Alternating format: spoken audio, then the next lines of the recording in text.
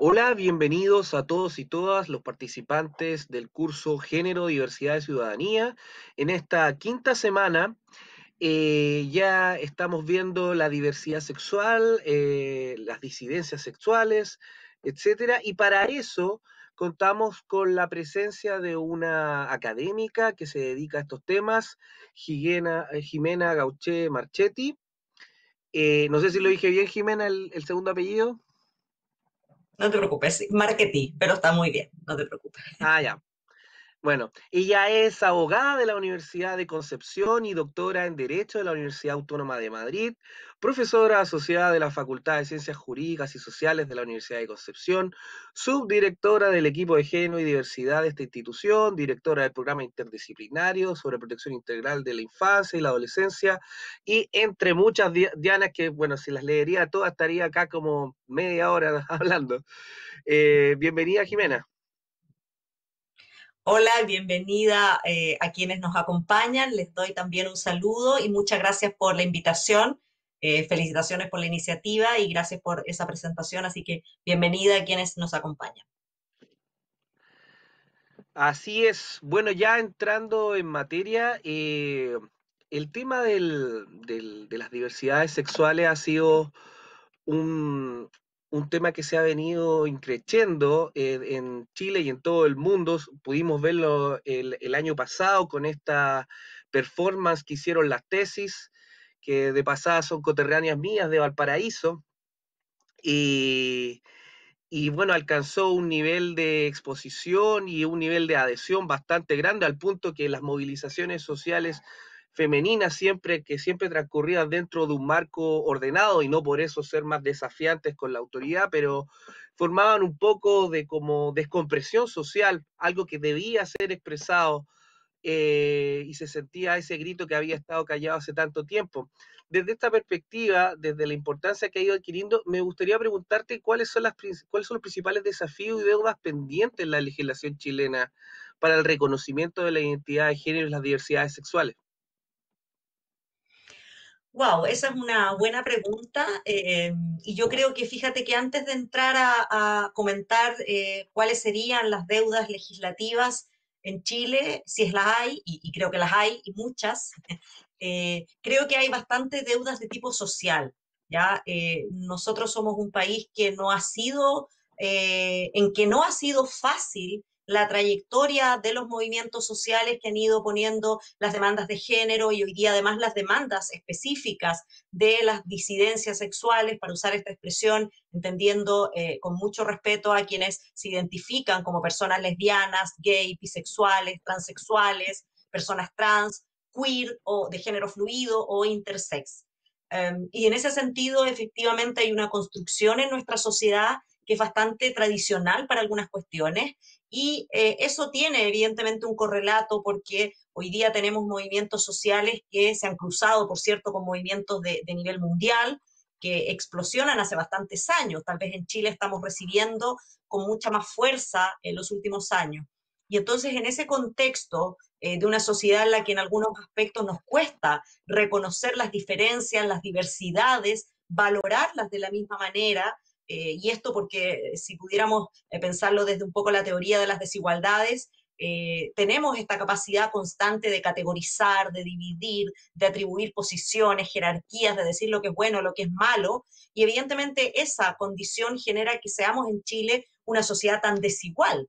¿ya? La desigualdad no es consustancial ni es natural, es construida culturalmente más allá de todas las visiones que distintos estudios y distintas perspectivas disciplinares pueden aportar para entender eh, la desigualdad.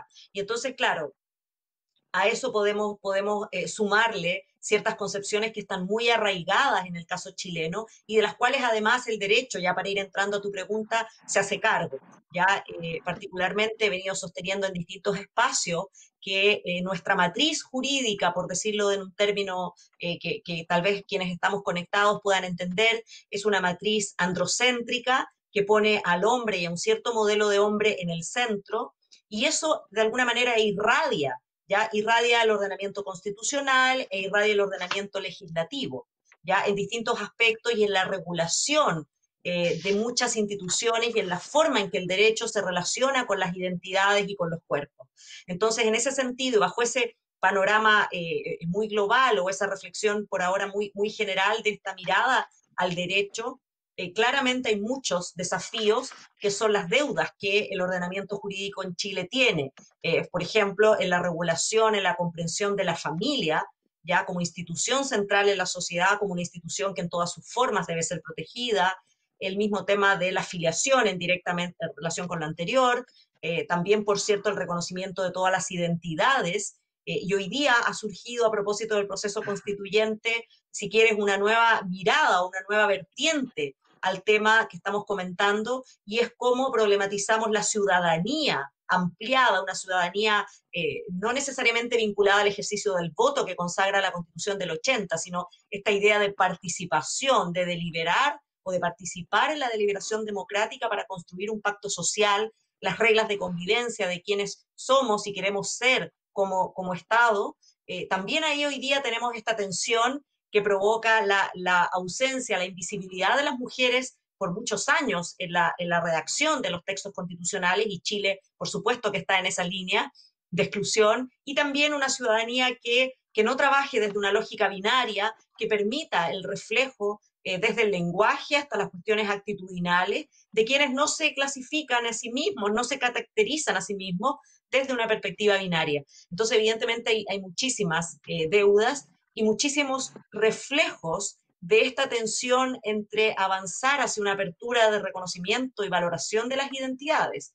Y, tal vez un ejemplo es la propia ley de identidad de género que Chile aprobó, que sin duda es un tremendo triunfo, por el valor además que tiene en un país como este la legislación y el valor que además tiene el que tengamos una ley que reconozca el derecho a la identidad de género de, personas trans. Pero si ustedes miran la definición de identidad de género que aporta esta legislación, que se aprueba en diciembre del año 2018 y que entra en vigor en diciembre del año 2019, es una definición binaria, el, ser, el cómo la persona se siente en relación a ser hombre o mujer. Entonces, de nuevo tenemos ahí una tensión que si bien tal vez no provoque problemas prácticos, pero sí tiene valores simbólicos importantes, ¿ya? Porque de alguna manera es un mensaje que se le transmite del, del derecho a personas que se autoidentifiquen como de género no binario, por ejemplo. Entonces, evidentemente hay muchos desafíos que, asumir. Y sobre eso mismo que tú estás hablando respecto de los binarismos, eh, han surgido voces críticas desde los mismos movimientos de identidad eh, sexual eh, y feminismos también, eh, respecto de, a estos escaños reservados que van a tener en la convención constituyente, esta paridad de género que, que se quiere poner como un valor fundamental, pero también cae en ese binarismo, porque si fuera para, para identificar a todos los, a todos los, todos los y las identidades que existen, deberían tener escaños reservados los queer, los transexuales, etcétera. ¿Qué te parece, qué te parece esa crítica justamente a ese binarismo? ¿Te parece que es un paso eh, necesario, un primer paso? ¿Te, parece que se queda al debe? Sí, ah, mm, yo creo que hay dos cosas ahí que podemos comentar en, la pregunta que tú formulas. La primera, eh, yo diría sin discusión, que es necesario que Chile logre escaños reservados para personas de pueblos originarios porque tiene que ver con la construcción de lo que somos como un Estado. No somos un Estado uninacional, somos un Estado que tiene una riqueza eh, diversa en, nuestra conformación, donde hay distintas personas y distintos pueblos originarios que deben participar en este debate, de manera que dejaría de alguna manera aquello afuera, ya de, de la discusión de los escaños reservados, que eh, creo que es plenamente justificada y de hecho tiene soporte y respaldo en las teorías constitucionales, políticas en general. En cuanto a la segunda, efectivamente alguien podría decir que la paridad es binaria, de la forma en que la hemos señalado en Chile. Esto es algo que, algunas personas relevamos en su momento cuando se discutía.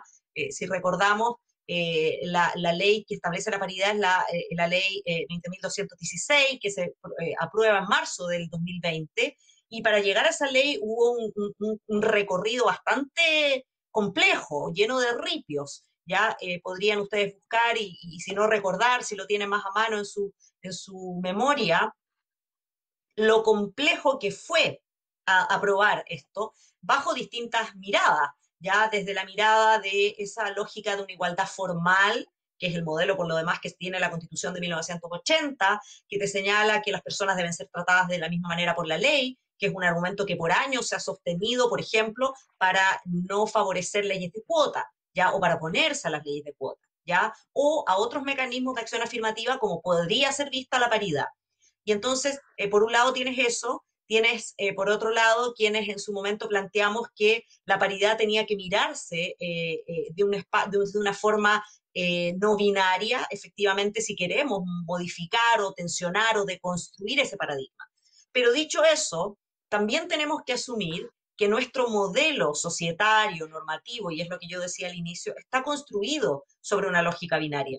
Entonces, tal vez tenemos que caminar eh, de la mano en un proceso de deconstrucción, ¿ya? Y efectivamente, eh, el logro de la paridad para la mitad de la población que se autoidentifica como mujeres es, sin duda, un, un logro, un ejercicio, digamos, de avance. Y por cierto, tenemos que también pensar que en esa paridad hacia eh, la mitad de la población que se autoidentifica como mujeres, hay mujeres de distintas identidades, ¿ya? Y por eso es muy rico que aprendamos a hablar de las mujeres y no de la mujer. Lo mismo que también sería aplicable a los hombres. No todos los hombres responden al masculino hegemón, ¿ya? Y, eso también hace interesante cuestionarse el paradigma patriarcal, a veces tan eh, rigidizado, ¿ya? Y entonces cuando lo pensamos así, eh, tenemos que pensar en que cuando hablamos de mujeres, hablamos de mujeres de distintas identidades, ¿ya? Y por eso es tan importante además un paradigma de la interseccionalidad en las políticas públicas y en la normativa, ¿ya? Eh, mujeres indígenas,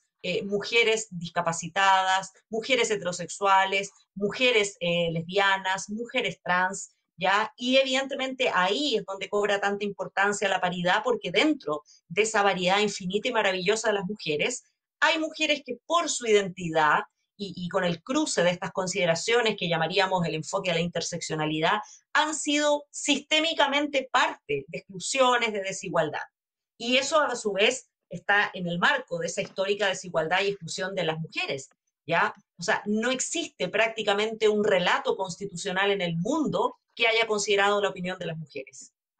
Y si tú miras la política como actividad humana, que es tan rica y tan maravillosa, eh, que no necesariamente me refiero con esto a que los códigos del accionar político sean ricos y maravillosos. Estoy hablando de la política como parte de la vida ciudadana, de la deliberación en la polis. E, ese ejercicio efectivamente ha sido construido para por hombres, ¿ya? Y, los códigos de comunicación, de reuniones, de comunicar el lenguaje, eh, son códigos masculinizados, ¿ya? Y en ese sentido creo que este es una primera gran mirada, ya a tensionar esa lógica y a decir, mira, aquí tienes a la mitad de la población con todas sus identidades que ha estado fuera. Y hoy, en un hecho que eh, ya lo sabemos porque ha sido, ha recorrido el mundo, digamos, esta va a ser la primera constitución que va a garantizar esa, esa paridad al haber sido electo el órgano eh, Convención Constitucional en el plebiscito del 25 de octubre.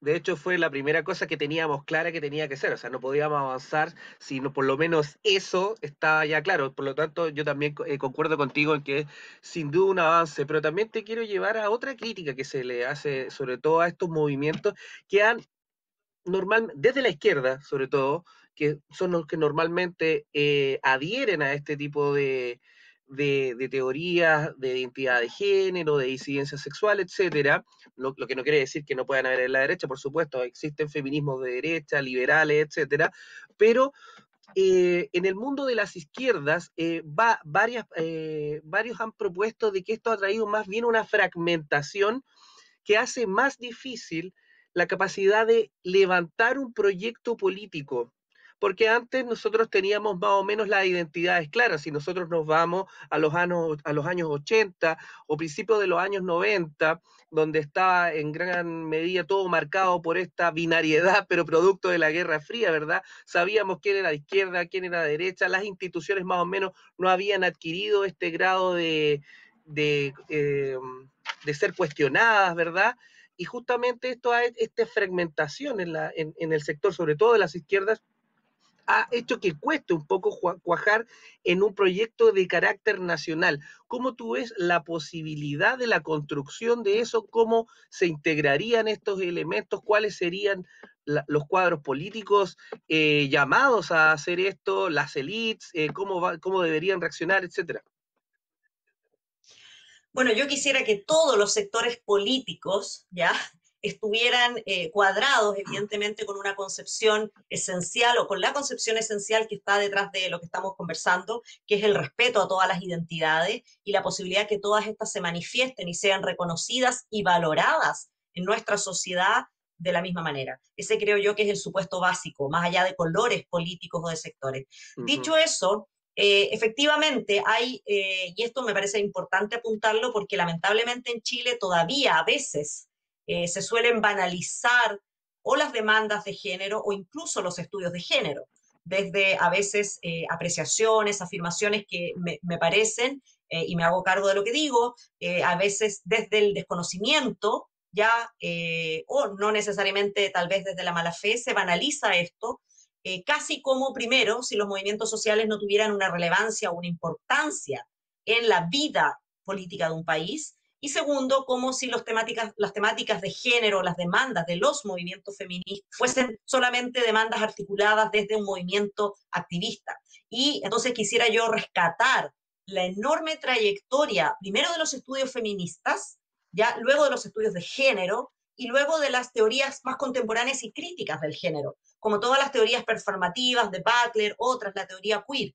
Y, toda esa trayectoria, de alguna manera, dialoga hasta llegar al momento en que estamos hoy. Es decir, si hoy día las disidencias sexuales pueden eh, manifestar de manera eh, más clara y con mucha más fuerza eh, sus propias reivindicaciones, tiene que ver con la recogida de esta trayectoria académica que por supuesto se cruza, y esto lo he venido sosteniendo en distintos espacios, se cruza con el movimiento jurídico a favor de los derechos humanos, que nace en 1945 desde, desde Naciones Unidas, la OEA, y se proyecta también en nuestro país, y por supuesto también con los movimientos sociales. Entonces, en ese sentido, efectivamente, hay hay un, contrapunto que hacer con otro tipo de reivindicaciones porque las teorías feministas forman parte de lo que llamaríamos las teorías críticas de la sociedad. ¿ya? Y las teorías críticas de la sociedad lo que quieren hacer es develar dónde están, eh, para decirlo de manera muy simple, dónde están los dispositivos de opresión que, nos permita explicar por qué tantas personas están en condiciones de desigualdad.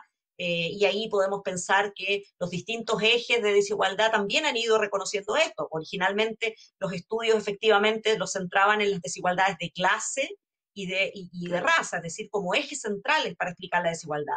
Y cuando hablamos de la desigualdad por clase, evidentemente tenemos que cuestionar o poner en movimiento un sistema capitalista ya eh, que se ha extendido en el mundo y que evidentemente en algunos casos tiene externalidades o efectos o consecuencias, como lo, quieran mirar, eh, y yo estoy lejos de ser una experta en, sistemas eh, económicos, por cierto, pero tiene consecuencias que se proyectan claramente en esta situación de desigualdad. Porque cuando decía yo hace un rato, la desigualdad es construida, tiene que ver con que las diferencias entre todas las personas son valoradas de distinta manera y se valora de forma muy distinta también a quien tiene ciertos recursos económicos o a quien puede acceder a ciertos recursos económicos. Y eso también lo podemos cruzar con la valoración distinta que se hace en nuestro país del color de la piel, del tipo de cabello, de los apellidos y del origen que tengan las personas. Entonces, evidentemente, hay ahí un, relato y un sustrato eh, en la, la, concepción crítica en general a la sociedad, al modelo capitalista con todas sus consecuencias, y, que dialoga con el movimiento feminista y de género, con los movimientos feministas y de género.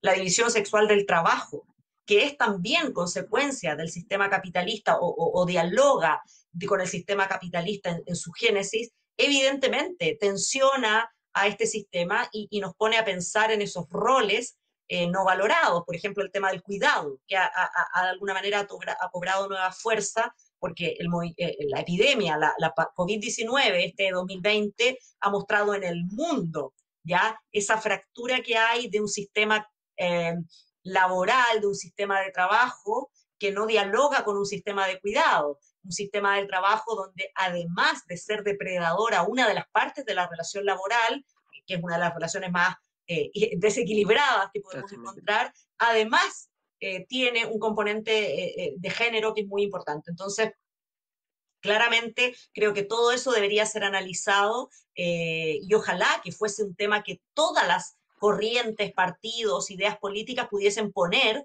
desde sus propios idearios poner en movimiento, ¿ya? Eh, si pudiéramos aspirar a eso. Claro, eso es muy importante, sobre todo este tema que tú mencionaste, el tema laboral, siendo que en Chile hay tanta mujer que es el principal sustento de su hogar. Eh, vemos que y los salarios siguen siendo aún estando muy por debajo por solo lo que recibe un hombre. Y, y bajo esa bajo ese prima te quería eh, te quería preguntar si tú crees que la promulgación de leyes basta para profundizar los derechos de las disidencias o hay que en el fondo hacer una reestructuración completa del aparato estatal. Eh, que se cuestione efectivamente desde su base la inclusión de, estos sectores? Mira, yo haría ahí un poco la misma reflexión que, hacía al inicio. Creo que hay que deconstruir el modelo social en que, que nosotros, las personas, hemos crecido, ya eh, cuestionarnos aquello que consideramos normal o natural y que a su vez hacemos como sinónimo de correcto, ya, eh, y pensar en que ese cuestionamiento es para una deconstrucción, no para una destrucción. Y para permitir o para acoger distintas miradas. Ese es otro tal vez de los mitos de que, bueno, hoy día pretenden que todas las personas se cuestionen su identidad para nada, ¿ya? Eh, para nada. Yo soy una mujer que tengo muy claro que soy cisgénero y soy heterosexual, Y, me sitúo en investigación en estos temas de manera muy respetuosa porque entiendo que hay un problema de reconocimiento detrás de todas las identidades. Entonces, creo que ese paradigma tiene que atravesar luego al Estado para que irradie, permee a las políticas públicas que se construyan de otra manera y, por supuesto, al derecho. Y aquí vuelvo a la idea original, o sea, el derecho tiene que ser capaz de deconstruirse desde una matriz rígida. Eh, esto es lo que tal vez los primeros sociólogos del derecho a inicios del siglo XX planteaban como esta desconexión que hay entre el derecho y la realidad en sistemas como el nuestro, ya en sistemas continentales, donde pretendemos, al, al parecer a veces, nos, me da la sensación cuando uno mira espacios, declaraciones o incluso normativas que se pretende que la realidad se adecue al derecho. Entonces, podemos, no, no, esta realidad no está regulada en el derecho. Pero a ver, entonces, no, ¿qué significa eso? Que no vamos a reconocer que haya dos personas que se amen, que sean del mismo sexo y cuiden y amen y quieran a un niño que requiere ese amor y esa protección como un cuidado esencial. Entonces, claro, yo creo que tenemos que poner esto en movimiento y deconstruir todos esos paradigmas porque van a tener una incidencia. y, esto parte además desde, desde la educación en la casa, ¿ya? Porque efectivamente, si, si construimos o deconstruimos este paradigma eh, desde el hogar, vamos a tener luego eh, niñas, niños, niñas, adolescentes y, y, luego personas universitarias y luego profesionales que van a estar en otra mirada, que van a estar en otra sintonía. ¿ya? Entonces, eh, creo que ese es, ese es el gran mega desafío que tiene nuestro país. Y, yo quisiera que en este proceso constituyente eh, se parta de esos lineamientos, no excluyentes, en no rigidizar eh, las identidades de las personas. y el lenguaje incluyente no es una cuestión ni retórica ni, ni difícil, simplemente parte por entender que la construcción de nuestro idioma, de las palabras, ha excluido a la mitad de la población y no solo a la mitad de la población, sino además a muchas otras personas que no se sienten incluidas. Entonces ahí hay una serie de dinámicas, eh, a mí me parece riquísimo, eh, estoy esperanzada en el proceso que estamos empezando en octubre del 2020 eh, y esperanzada en esto, que permita esa deconstrucción y que las personas no sientan que esto es una amenaza a la forma en que ciertas personas han vivido y quieren continuar viviendo sus vidas, sus realidades, sus familias, sus espacios o sus identidades. Sin duda es un desafío y la educación forma eh, parte, es una parte esencial de lo que nosotros tenemos que ir trabajando. El desafío también es generar eso desde la casa, como bien tú dices, en una sociedad como la chilena, donde creen que la norma forja el hábito, ¿verdad? Esta pasión por el orden que viene desde Andrés Bello, ¿verdad? Y que ahora justamente es el derecho el que se tiene que adecuar a la sociedad y no la sociedad adecuarse al derecho. Eh, con esa reflexión me, gustaría quedarme, Jimena. Eh, te agradecemos por tu exposición eh, tan, tan detallada, tan clara. Eh, no sé si te gustaría redondear alguna idea, algo que se te quedó en el tintero. Eh, bueno, agradecer la invitación, felicitar, felicitar la iniciativa eh, y, sí, tal vez el llamado es esto, a, a, no tener el miedo de cuestionarnos. La verdad que los seres humanos parece que desde pequeños nos acostumbramos a pensar en categorías, todo, todo, la vida, y necesitamos cerrar, necesitamos categorizar. Y la verdad que a veces los procesos de, identidades, que es lo que estamos hablando a fin de cuentas, que está en el, en el trasfondo de esto, las identidades de mujeres, las identidades de las disidencias sexuales, no necesariamente son procesos cerrados. Entonces, invitar a que no, no requerimos para poder explicarnos la realidad, para poder generar un espacio de participación abierto en nuestro país, que tengamos claridad de cómo todas las personas pueden identificarse a sí mismas. Basta con tener esta disposición a cuestionarnos, cuestionarnos aquello que creíamos normal, ¿ya? Porque evidentemente ese de alguna manera es un desafío que permitirá eh, hoy día acoger, obviamente, de una mejor manera la paridad en este proceso que estamos iniciando y también eh, el día de mañana poder acoger, entender eh, las necesidades que tienen desde la perspectiva legislativa ya quienes viven en nuestra sociedad y evidentemente son eh, personas que tienen una percepción de sí mismas que, con la que nos cuesta tal vez eh, dialogar y entendernos. Entonces, tal vez ese sería, eh, sobre todo si, si, quienes nos ven son personas que están en su proceso formativo, sus procesos educativos formativos, me parece que esto es, muy importante y, y, ojalá que esta, esta idea quede por ahí y ustedes la puedan reflexionar en, en sus propios espacios. Sin duda, sin duda va a quedar marcado a fuego en esta última semana de este curso de diversidad sexual, eh, género y ciudadanía. Eh, queremos agradecerte una vez más, eh, Jimena, por tu disposición. La Universidad de Recoleta está súper agradecida. Ojalá que podamos vernos en alguna otra oportunidad para hablar de estos temas y otros que siempre es necesario seguir profundizando. Hacemos un llamado a las personas que están inscritas a que utilicen las plataformas que tenemos disponibles, en los materiales escritos que tenemos, que participen en los procesos de, de retroalimentación y la discusión en los foros. Y fuerza para esta ya última semana, ponerle el último power para poder entregar los trabajos finales que, requerimos acá en la universidad. Eh, bueno, eso sería todo. Una vez más, muchas gracias y hasta la próxima. Ojalá nos estaremos viendo dentro de muy poquito. Chau, chau. Chau, chau.